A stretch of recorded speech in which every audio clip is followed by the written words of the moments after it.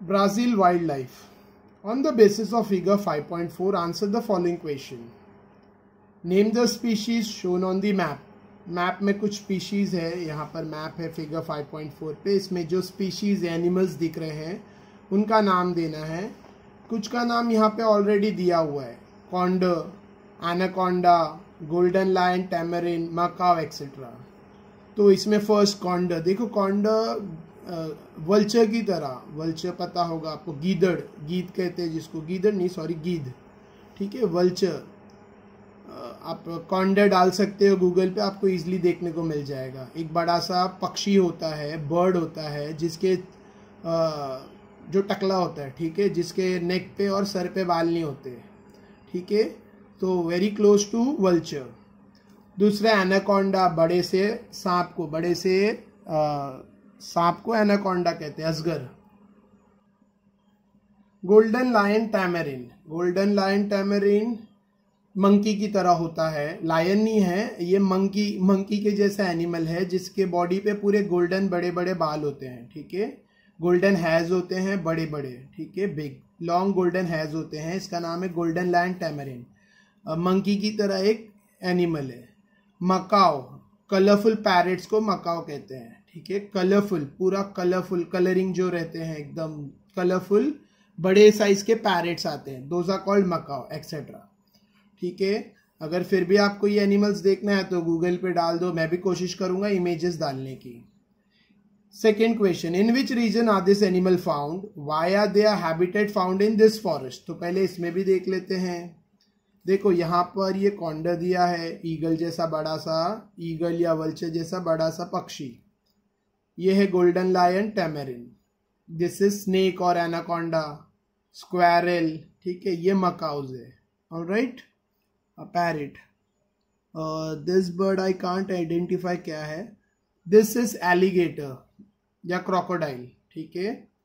Kingfisher again anaconda flamingo ठीक है? ये पक्षी का नाम है फ्लैमिंगो और ये स्वॉर्ड फ़िश इसके आगे बड़ी सी इसकी बड़ी सी बीक होती है, चोंच टाइप तो इसको सॉर्ट कहते हैं। तलवार जैसी इसकी आगे का, इसका जो माउथ रहता है, तलवार जैसा रहता है। तो it is called swordfish next second question क्या पूछा है? ये एनिमल कौन से रीजन में पाए जाते हैं और इनके हैबिटेट क्या है? ठीक है? इन फॉरेस्ट में। तो आप देख सकते हो anaconda anaconda Amazon river basin में बहुत पाया जाता है, क्योंकि ये घने जंगल होते हैं। एवरग्रीन फॉरेस्ट तो यहाँ पे ये ये सब प्राणी पाए जाते हैं, ठीक है? और ये तो ओशन में पाई जाती है, सी में, देखो, साउथ एटलांटिक ओशन में, फ़िश। फ्लैमिंगो बर्ड है जो यहाँ पर पाया जाता है, जहाँ कम बारिश होती है, ठीक है? तो इनका हैबिटेट है खान पान रहन सहन etcetera next classify the forest region with the reference of their extent ठीक है? फॉरेस्ट रीजन को उसके एक्सटेंट के हिसाब से क्लासीफाई करो। तो आप देख सकते हो equatorial forest equatorial forest Brazil के नॉर्थ में है, ठीक है? दिस इज़ इक्विटोरियल फॉरेस्ट जो अमेजोन रिवर बेसिन में है, क्योंकि यहाँ पे बहुत रेन होती है, ठीक है? और ये एरिया पूरा स्वैम्पी है मतलब पानी से भरा रहता है, और यहाँ से अमेजोन अमेजोन रिवर यहाँ से इमर्ज होती है, और यहाँ पर आकर खाली होती है। Tropical glass, grassland, tropical grassland मतलब घास के मैदान। तो ये हल्का लाइट ग्रीन कलर में है। देखो टेम्परेट ग्रासलैंड डार्क ग्रीन में। यहाँ पे पैम्पस है टेम्परेट ग्रासलैंड में, ठीक है? टेम्परेट टेम्परेट टेम्परेट ग्रासलैंड में पैम्पस दिया है यहाँ पर। ऑल राइट फिर स्वैम्पी लैंड्स यानी दलदली कीचड़ वाला एरिया जहाँ पे स्वैम्प रहता है। स्वैम्पी मतलब दलदल। तो यहाँ पर आप देख सकते हो, ये पेंटानल में स्वैम्पी लैंड है, जहाँ पर एनाकोंडाज और क्रोकोडाइल्स एलिगेटर्स पाए जाते हैं पेंटानल में, ठीक है स्वैम्पी लैंड फिर हॉट डेसिडियस फॉरेस्ट ये पार्ट पूरा जो लाइट ग्रीन में है, ये हॉट डेसिडियस फॉरेस्ट है, जहाँ पे flamingo etcetera this is hot deciduous forest ठीक है?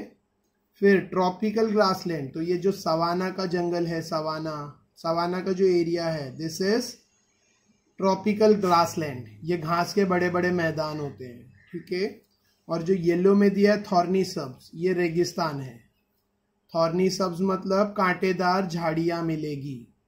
छोटी कांटेदार झाड़ियाँ मिलेगी और ज़्यादातर रेगिस्तान वाला हिस्सा है। तो ये डेजर्ट नहीं है बट यहाँ पर आ, कम बारिश होने की वजह से छोटे और नो कांटे वाले पौधे, पत्ते घास फूस झाड़ियाँ मिलती है, ठीक है?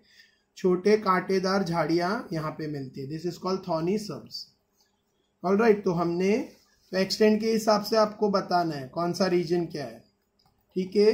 तो अमेजोन क्या है? एवरग्रीन फॉरेस्ट का अमेजोन रिवर बेसिन से लेकर ये पूरा एरिया एवरग्रीन फॉरेस्ट है। सवाना क्या है? जो सवाना का एरिया है सवाना ये ट्रॉपिकल ग्लास लैंड है, ठीक है? और जो पेंटानल है, ये स्वैम्पी लैंड है, यानी दलदली, कीचड़ वाला एरिया, ठीक है? और ये जो नीचे वाला पार्ट है, जहाँ पे फ्लैमिंगो पाए जाते हैं, ये हॉट डेसीडियस फॉरेस्ट पाए जाते हैं यहाँ पर। डेसी, हॉट डेसीडियस फॉरेस्ट मतलब सीजनल फॉरेस्ट, जहाँ सीजनल रेन होती है तो पेड़ होते हैं, बारिश के सीज़न में हरे भरे रहते हैं और जब मौसम सूखने लगता है, पतझड़ मतलब वहाँ पे पत्ते झड़ देते हैं, पेड़, ताकि इवेपरेशन कम हो। ठीक है? फिर ये एरिया में थॉर्नी यानी कांटेदार झाड़ियाँ हैं, ठीक है? कटिंगा, देखो ये पौधे का भी नाम है और पूरे एरिया का भी नाम है। कटिंगा हमने चैप्टर के स्टार्ट में देखा था, कटिंगा टाइप का प्लांट ठीक है? कटिंगा एक पौधे का नाम है और उसके आधार पर पूरे एरिया का नाम कटिंगा है। या एरिया के नाम के हिसाब से पौधे का नाम कटिंग है, ठीक है? जो थॉर्नी पौधा होता है, कांटेवार पौधा, जो जहाँ बहुत कम बारिश होती है, वहाँ उगता है, ठीक है? कैक्टस की तरह। और लास्ट में ये एक बच गया है पैम्पस पैम्पस में कौन से टाइप का ग्रास लैंड है? टेम्परेट ग्रास लैंड ठीक है? टेम्परेट ग्रास लैंड राइट तो ग्रास लैंड मतलब घास के मैदान, यहाँ पेड़ नहीं होते, घास ही घास होती है। In which country do equatorial forest occupy a great area what could be the reason behind it तो कौन से देश में इक्विटोरियल फॉरेस्ट ज़्यादा पाया जाता है और उसके पीछे की वजह क्या है? तो आप देख सकते हो इक्विटोरियल फॉरेस्ट ब्राज़ील में ज़्यादा पाया जाता है। इंडिया में इतना नहीं। इंडिया में कौन सा फॉरेस्ट ज़्यादा है? इंडिया में डेसीडियस फॉरेस्ट ज़्यादा पाया जाता है, ठीक है? और ब्राज़ील में इक्विटोरियल फॉरेस्ट ज़्यादा पाया जाता है। इसकी वजह? वजह क्या है? क्योंकि ये एरिया इक्वेटर के नज़दीक है तो यहाँ पे बारिश भी ज़्यादा होती है और अच्छी खासी सनलाइट भी मिलती है। डेफो इक्वेटोरियल फॉरेस्ट ब्राज़ील में ज़्यादा पाया जाता है। तो रीज़न भी मैं आपको दे चुका हूँ। Second which type of forest found in India are not found in Brazil ऐसे कौन से जंगल है जो इंडिया में है, लेकिन ब्राज़ील में नहीं पाया जाता है? तो इंडिया का मैप देख लेते हैं। ठीक है? तो देखो हिमालयन फॉरेस्ट हिमालयन फॉरेस्ट, जो इंडिया में है, ब्राज़ील में नहीं पाया जाता है। कोस्टल फॉरेस्ट, जो इंडिया में है ब्राज़ील में नहीं पाया जाता है। तो this two Himalayan and coastal forest Brazil में नहीं पाया जाता है कहीं पे भी, ठीक है? और इंडिया में पाया जाता है। और right Himalayan and coastal forest next third question हमें दोनों देशों को कंपेयर करके बोल कंपेयर करने के लिए कहा जा रहा है। इंडिया और ब्राज़ील में कंपैरिजन करके बताने के लिए कहा जा रहा है, ठीक है? Third question which type of forest found in Brazil are found in India too ऐसे कौन से जंगल है जो सिमिलर है, ब्राज़ील में भी और इंडिया में भी? मतलब दोनों देशों में पाए जाते हैं। ऐसे कौन से जंगल है जो दोनों देशों में पाए जाते हैं?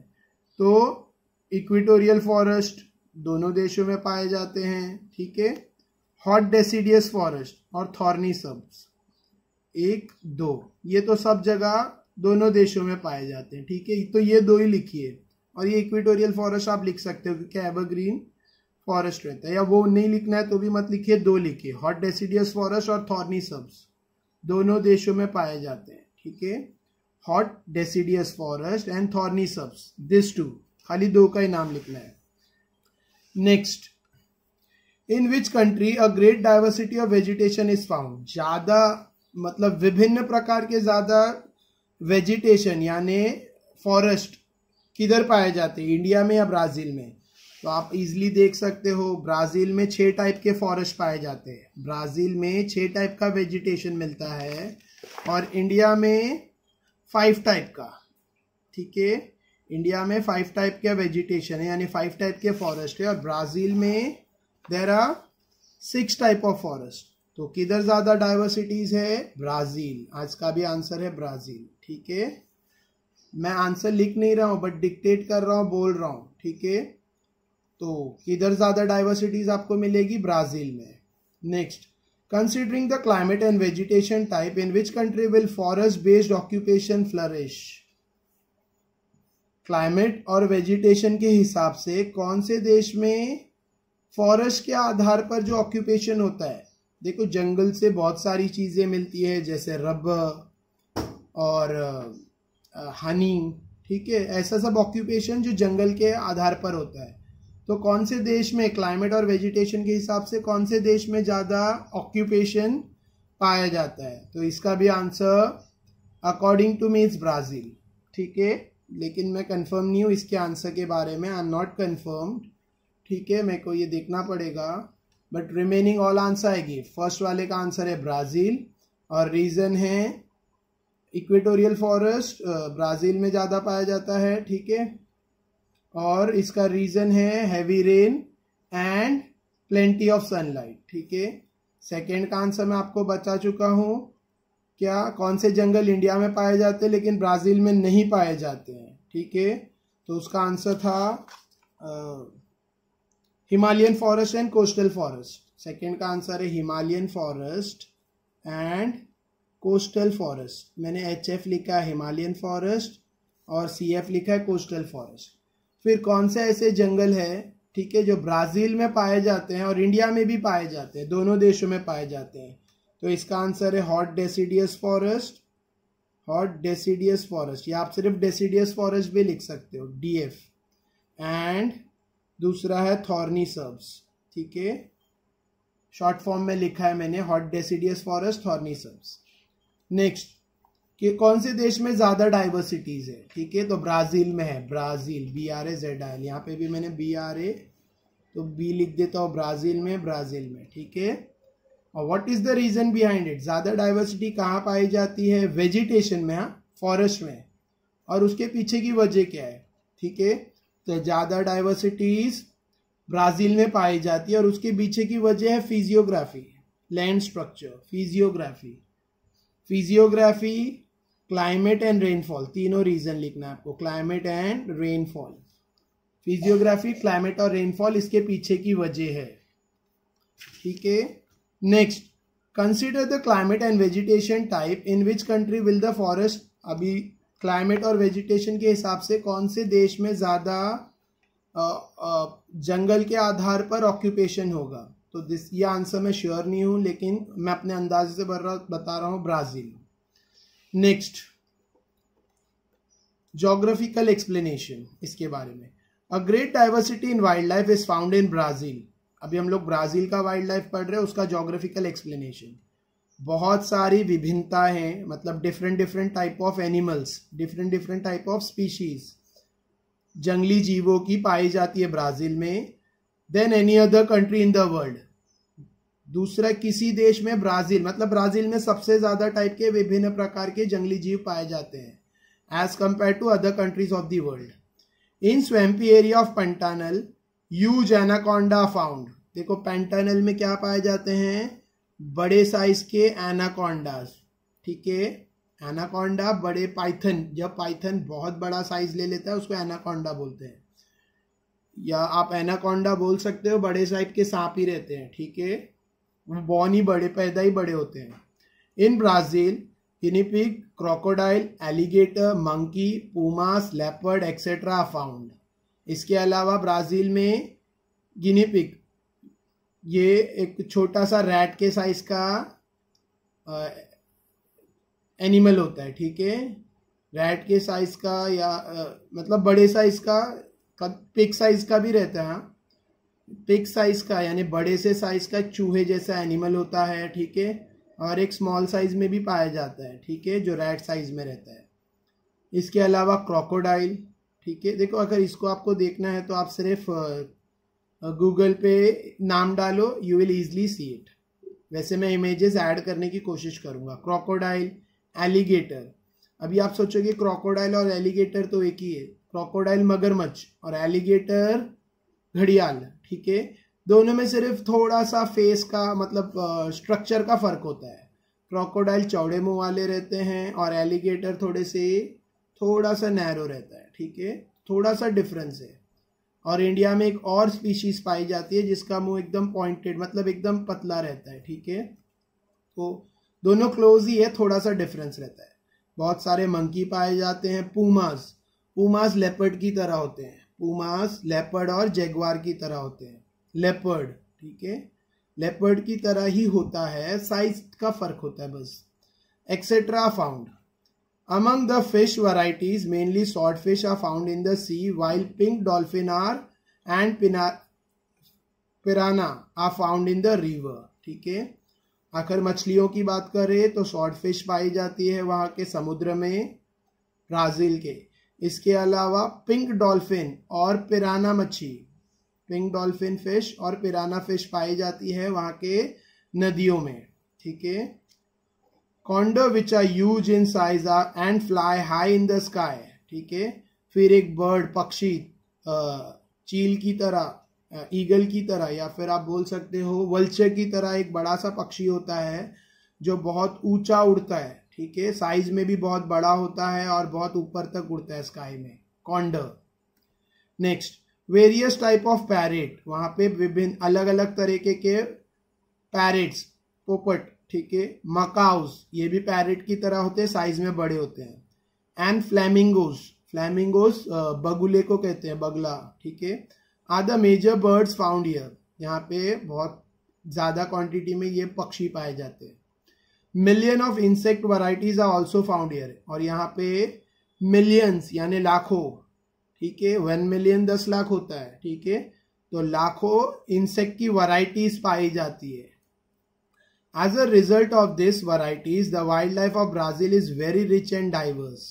इस वैरायटी की वजह से जो जंगली जीव है ठीक है जो वैरायटीज है ब्राज़ील की जो वाइल्ड लाइफ है ये बहुत रिच और डाइवर्स है। बहुत बहुत ज़्यादा है और बहुत विभिन्न है। मतलब उसमें बहुत डिफरेंट डिफरेंट टाइप के बहुत मिलेंगे ठीक है। Next Degradation of environmental is, environment is happening due to illegal smuggling of wild animal, slash and burn agriculture, रोका डिफॉरेस्ट्रेशन पोल्यूशन एक्सेट्रा देखो एनवायरमेंट बर्बाद किया जा रहा है इंसानों द्वारा।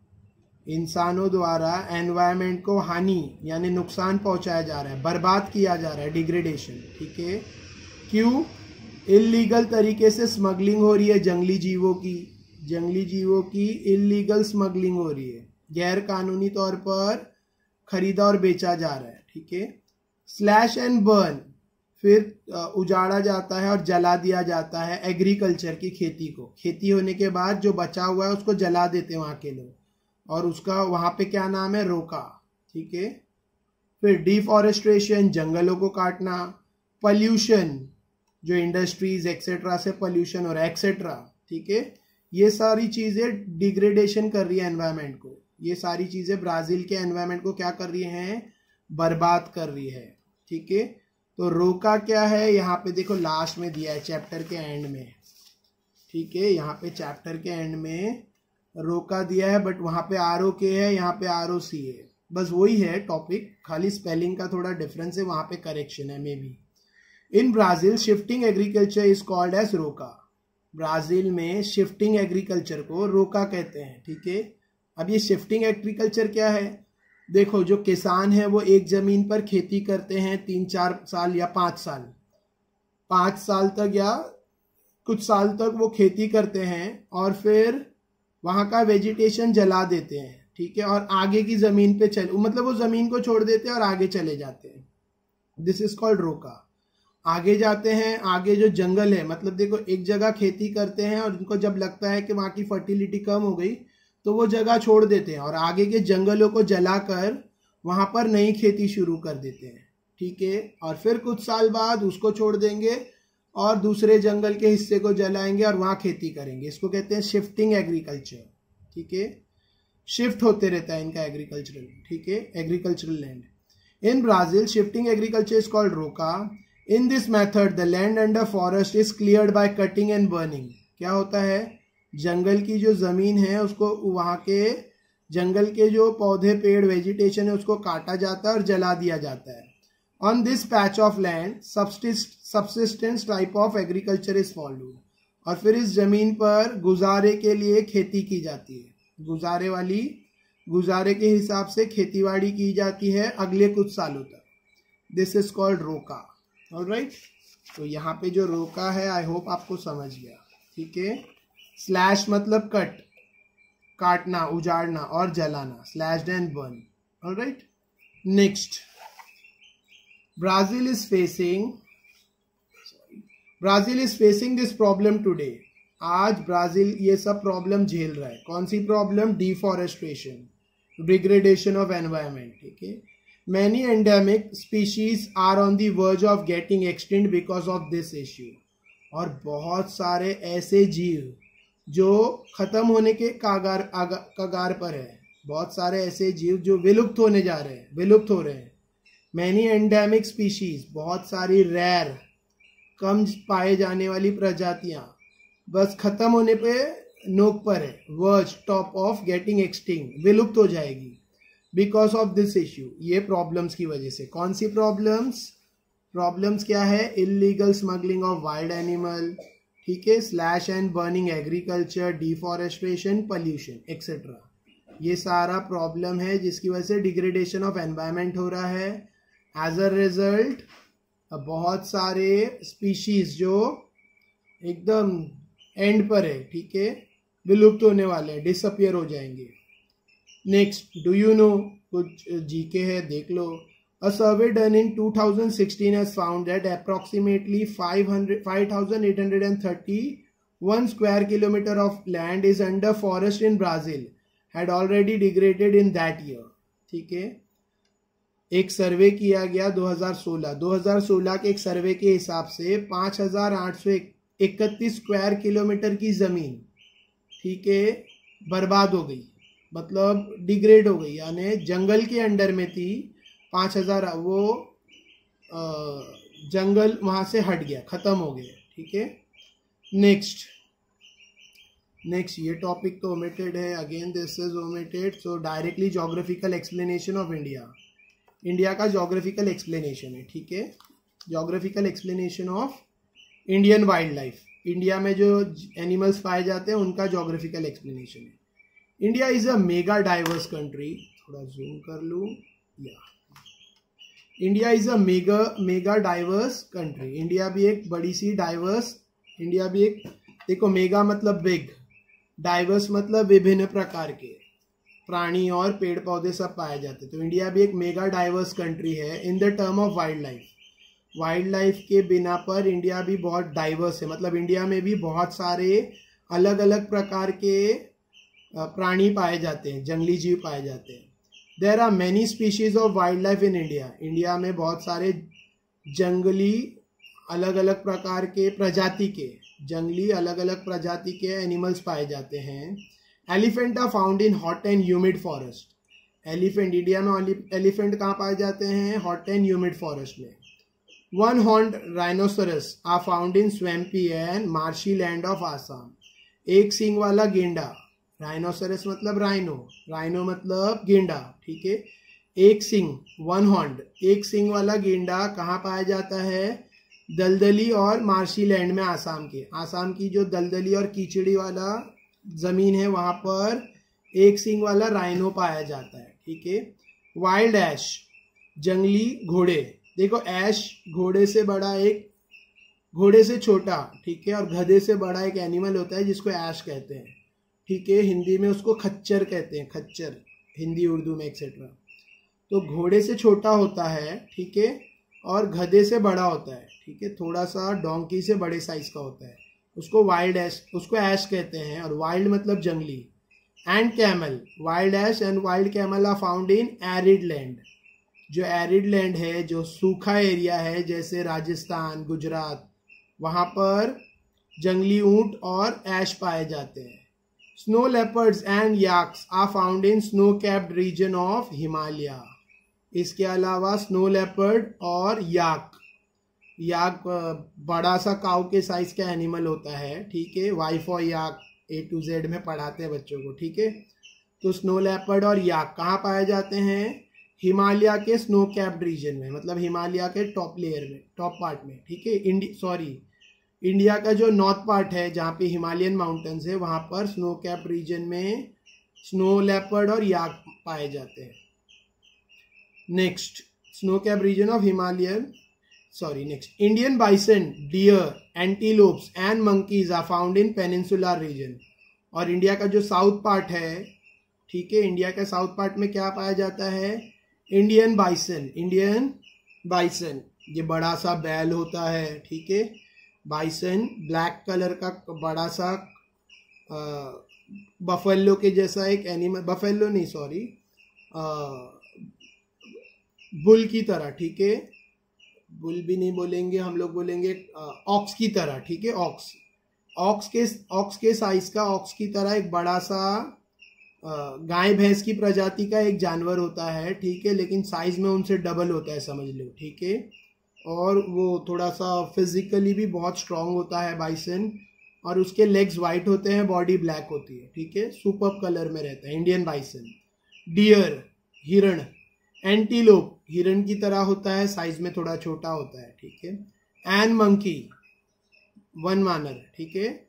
मंकी बंदर. Are found in the peninsular region ये इंडिया के साउथ में इंडिया के साउथ में जो पेनिनसुलर रीजन है, यहाँ पर पाया जाता है, ठीक है?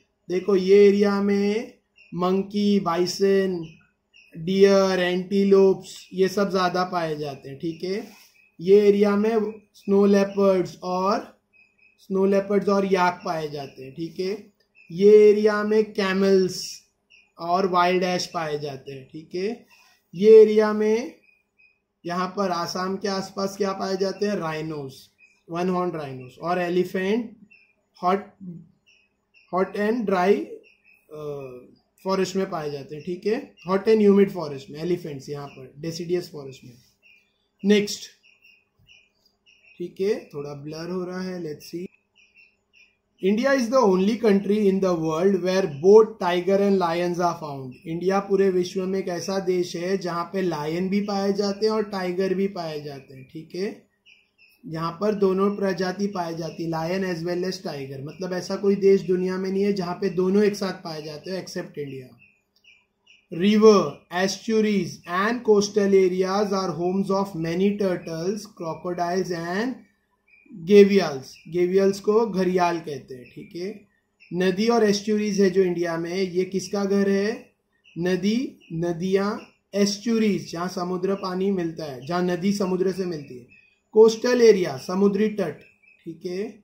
ये बहुत सारे टर्टल्स का समुद्री केचुए और नदी के कछुए जो भी है, कछुए सॉरी केचुए नहीं, कछुए क्रोकोडाइल्स का मगरमच्छ घरियाल मैंने आपको घरियाल कहा क्या है, ये क्रोकोडाइल की तरह ही होता है, लेकिन इसका माउथ पतला होता है, ठीक है? एलिगेटर नहीं है घरियाल अलग होते हैं, ठीक है? एंड घरियाल्स ये इंडिया में पाए जाते हैं। इंडिया की एस्टूरीज में रिवर्स में और कोस्टल एरियाज़ में।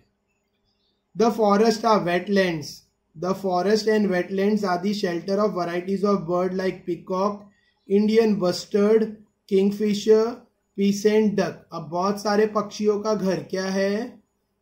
बहुत सारे पक्षियों का घर वेटलैंड्स है। इंडिया के जो जंगल है और इंडिया में जो वेटलैंड्स है, ठीक है?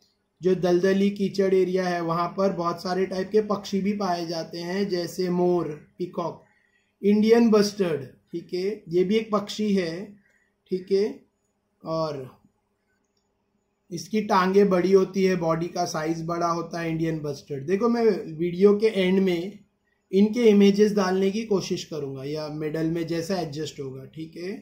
बट नाम के साथ I put it kingfisher छोटा सा बर्ड होता है जो मछली खाता है एक्सेट्रा पीसेंट ये पीसेंट बहुत कलरफुल होता है और मुर्गी की तरह होता है, ठीक है? लेकिन थोड़ा उससे बड़ा साइज़ ऑलमोस्ट उतना ही रहता है, लेकिन इसके पंख बड़े होते हैं और बहुत कलरफुल होते हैं. डक्स बदक, पता होगा.